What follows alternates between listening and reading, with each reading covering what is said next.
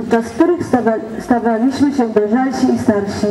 Dziś nadeszła pora rozstania z nauczycielami, przyjaciółmi i beztroskimi latami młodości, które pozostaną na zawsze w tych murach.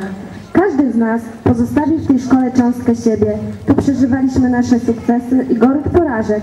Tu zawiązały się przyjaźnie, które teraz będą musiały przejść próbą rozłąki. Chwile spędzone w szkole będą najmniejszym wspomnieniem. Na początku sercem pełnym obaw, z trudem rozstawaliśmy się z rodzicami. Bardzo szybko okazało się jednak, że chodzenie do szkoły ma swoje dobre strony. Można tu było, było wesoło bawić się w grupie koleżanek i kolegów. Trudno uwierzyć, że przed nami drugi brzeg. Szliśmy przez te le lata letko jak motyl i wtedy było szczęśliwe dni, ale zdarzyło się, że kroczyliśmy jak słoń. Kiedy nie udała nam się klasówka lub się czegoś nie nauczyliśmy. W chwilach smutnych i radosnych była nasza szkoła. Spędziliśmy w niej wiele wspólnych i wspaniałych godzin.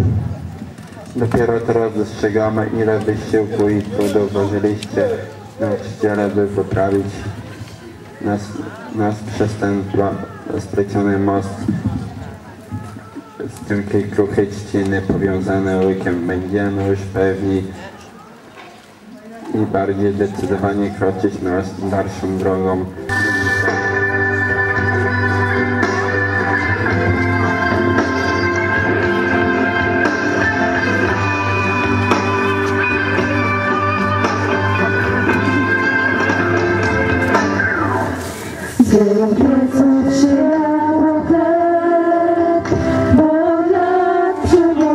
Santiago.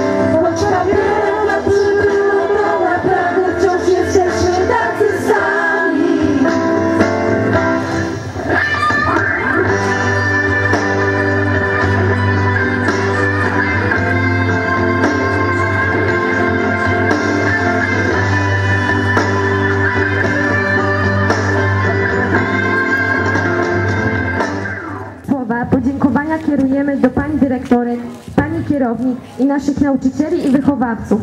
Dziękujemy za przekazaną nam umiejętność podejmowania decyzji, za wpojenie szacunku dla ojczyzny i języka. Wyuczone regułki, daty i fakty być może ulecą z naszej pamięci, ale wartości w nas zaszczepiliście, powinny wkrótce zaowocować.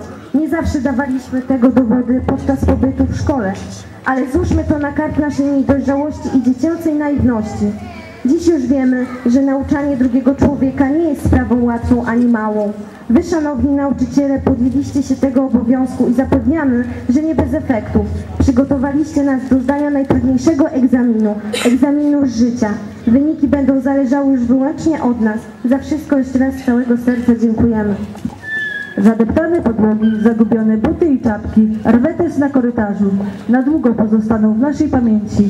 Z całego serca dziękujemy, a za wszystko co złe przepraszamy. Słowa podziękowania kierujemy także do naszych rodziców. To dzięki Wam mogliśmy zaniesieć w takim uroczystym dniu. Dziękujemy Wam dziś za serca, miłość i cierpliwość, której często nadużywaliśmy. Każdy z nas chciałby się odwdzięczyć dobrym zdanym egzaminem, ukończeniem szkoły, zdobyciem zawodu. Kochamy Was i dziękujemy Wam za wszystko.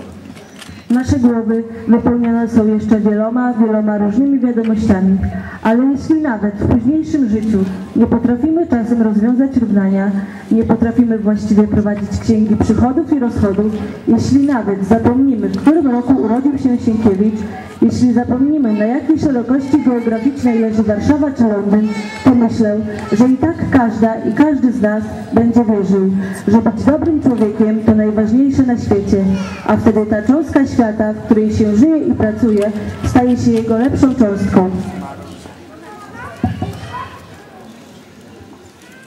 Kiedy teraz w wędrówce przez życie będą nam towarzyszyć wskazówki i rady naszych nauczycieli oraz wiecznych praw i przesłań moralne, te, które będą zapadły w nasze serca, będziemy na co dzień nadawać sens swojemu życiu, wypełniać się treścią.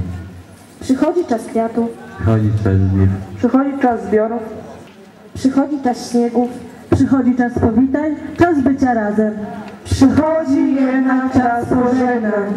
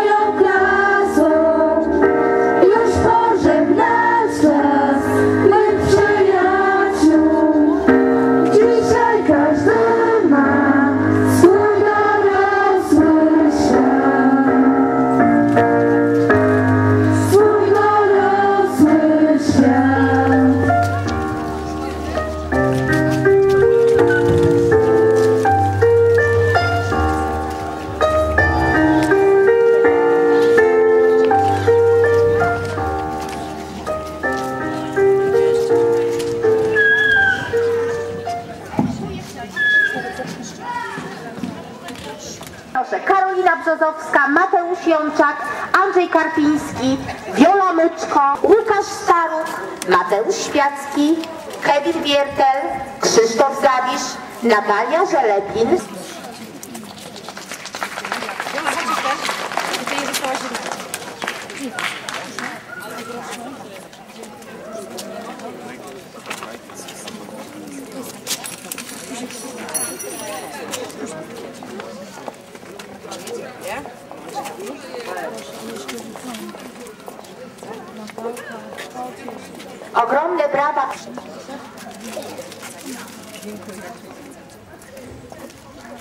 Bardzo dziękuję.